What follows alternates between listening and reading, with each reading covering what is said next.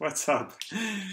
I'm going to talk to you about Brobot. What is Brobot? And just start first with automation. What is automation? So basically anything that you do as a human with the computer, having the computer do it for you. And currently it's not very easy to write large automation programs, programs that do a whole bunch of things. So usually people tend to write programs that do simple things. And the reason that writing large automation programs is difficult is because it's a stochastic process. So everything that happens is uncertain. If you are looking for an image, you might not find it. You might find it in the wrong place. If you click on something, it might actually click, it might not click, it might do something strange, there might be a pop-up on the screen that you're not expecting. It's just everything is uncertain. This uncertainty, this stochastic nature of the automation problem, is what makes it very difficult to create a large automation application.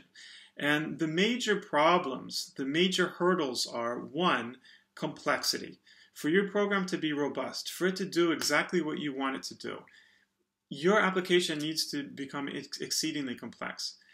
And two is the inability to test.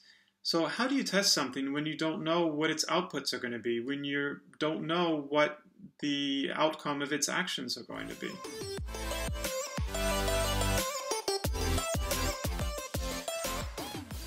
Here's a simple process. We want to find an image A and click on it, and then we want to find an image B and drag it, and then we want to click on a point C. And this seems like a fairly simple process, and it is. The problem is, is that when you automate this, it's no longer such a simple process. And the reason is, is that it's stochastic. There's uncertainty on, at every step of that process. You might not find image A, you might not find image B, you might find image B and it might not drag correctly. And then there are external things that can happen.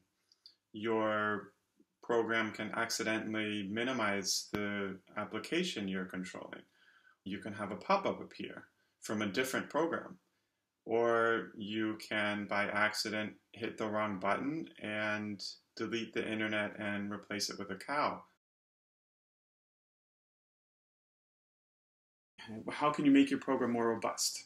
Well, you can do things repeatedly. If an image isn't found, you can look for it a few times. That's good. You can also create different paths to your goal. So at your start point, to get to your goal, we have this one process, but there's probably other processes. And it's a good idea to add those processes.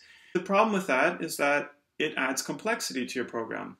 And in fact, it adds complexity exponentially given the number of steps that you have in your initial process. This happens because when you're finished with one step, those additional paths that you created, they're no longer applicable. And from that new starting point, you need to create new paths.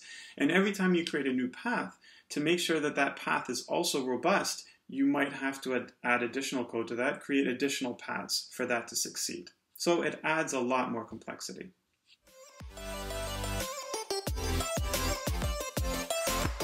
What's key to simplifying the growing complexity of these processes is the idea that at different points throughout the processes, there will be environments that repeat themselves.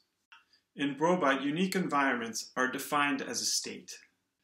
Now, a state in Brobot is a collection of objects that are related to each other in some way. A Brobot state doesn't have a formal definition of what that relation is, but it usually has to do with space and time.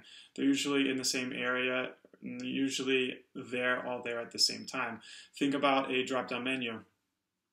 Before you drop down the menu, the menu objects or the menu items don't exist. And once you drop down the menu, those menu items are there. Now, you may have menu items that are hidden at that point. Any menu item that could appear when you drop down the menu is part of that state. The one defining uh, aspect of a state is that any time an a action is taken on one of those objects, we expect the same result to occur. So obviously, it's a stochastic process, so we don't know what the actual result will be, but the expected result should be the same. And take the example here It's a simple example of a state in a game where we are at an island and there are some images. There's three different images that we expect to appear in this description of the island that's at the right side of the screen. And there's also a state region at the top left, and there's a state location at, in the middle left. The purpose of a state region might be a little more confusing. Remember that anytime an action is taken on a state object, we get the same expected result. So before we're at, when we're not at an island, we don't expect to have text in the top left of the screen. And when we're at an island, we expect to have text. So when we run a get text operation on that state region, we expect to get the name and type of that island in text within that region. The other part to this method of reducing complexity is the idea of a state transition. A state transition has one purpose, that is to go from one state to another state. And it has no objects associated with it. A state, in contrast, has no methods associated with it. It has only objects. And this separation allows us, uh, it gives us a very clear structure in the program, in that our states and our state transitions are, are divine, defined separately and they do not overlap with each other.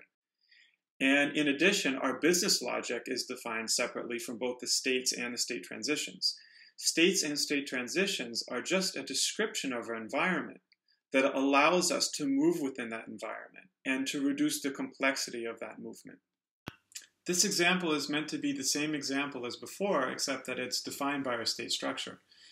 And everything we need is contained within the states and the state transitions that we defined.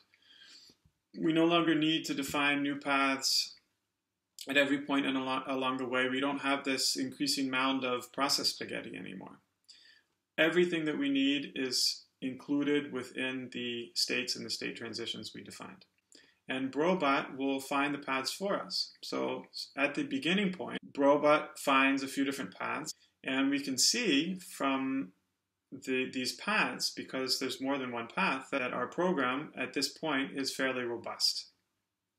And then we move on, we are successful with the first step, we move on to state one, and those paths, the other paths that we had defined that Brobot had selected for us, are no longer applicable.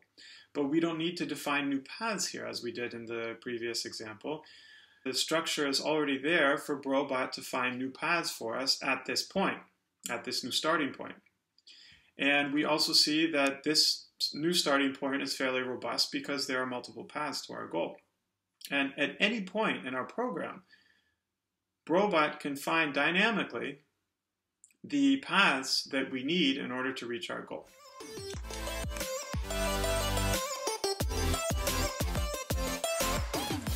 Automation programs are traditionally tested by trial and error.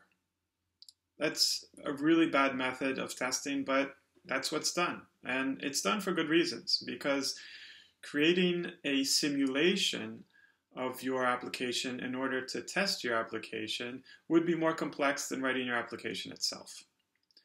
This is how I used to test my applications, my automation applications before Brobot. And this is what it looks like.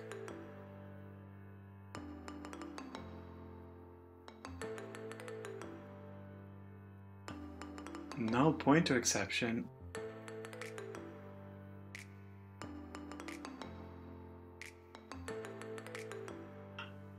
Huh? It stopped. What? I spelled the name wrong. I spelled the file name wrong. Oh. Unglaublich. Unglaublich. Pero por qué? Warum? Que isso? Bavana me konam. Namaleko putonano.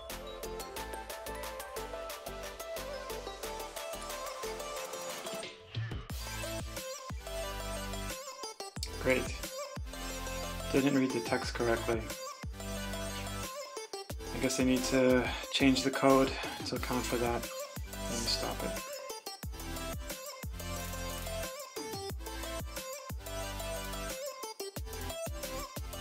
Pointer exception.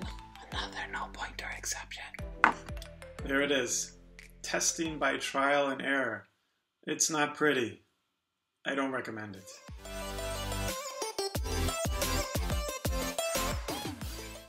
Brobot treats testing as part of its core functionality. It's integrated within the core functionality of Brobot. It's not a separate unit such as a JUnit framework or some other testing framework. Brobot has wrapper functions that interact with the libraries that Brobot uses. There are wrapper functions that wrap Sikuli methods. And the rest of Brobot, the higher level methods and classes, they don't know if an application is being mocked or not they perform the same way in a mock scenario as in a real scenario. State objects in Brobot can be created with histories. And these histories are our expectation of what happens if an action is performed on this object. So it's like saying in the past this object was searched for and it was found at this location. Or in the past, there was a get text operation run in this region and it found this string once. And in another occasion, it found a different string. And these match histories, what they do is they allow Brobot to simulate uh, actual execution through expected results. Take a very simple example of clicking on an image. Real execution means that we send the operation to Sikuli, which finds the image, and then, if it's found, clicks on it. An example of mocking that operation is returning a result based on the match histories. The results look the same. They're in the same format in real execution and in mocking. And the higher level methods and classes in Brobot don't know if it's being mocked or if it's running a real execution. This is an example of mock output. It's similar to the output you get during real execution, and of course, all output can be configured. Assertions are similar to assertions in testing frameworks like JUnit. The difference is, is that they are an integral part of Brobot, similar to mocking. They run with your code, they don't run on your code.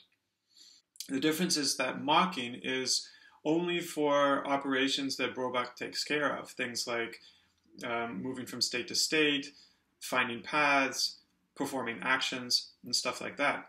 Assertions can be used to test your business logic or anything else that you want to involving your code. Hey, still there. I hope this was a gentle introduction to what Brobot is and to the problems it tries to solve. If you want more information, there's a documentation website that includes a tutorial in GitHub. You can also ask questions in Stack Overflow. I check that frequently. Plus, you can write to me directly in Brobot's Twitter account. Brobot is open source and it's free. And it's built with care for researchers, for anybody writing automation software, for the entire AI community. Personally, I can't imagine writing automation software now without it. So I hope you enjoy it and I hope you find it useful. Have fun roboting and try not to delete the internet.